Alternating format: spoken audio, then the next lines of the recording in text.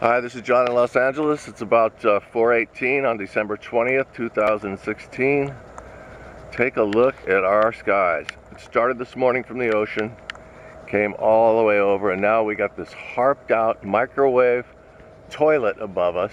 Look at this. These look like human operations to you? They don't to me.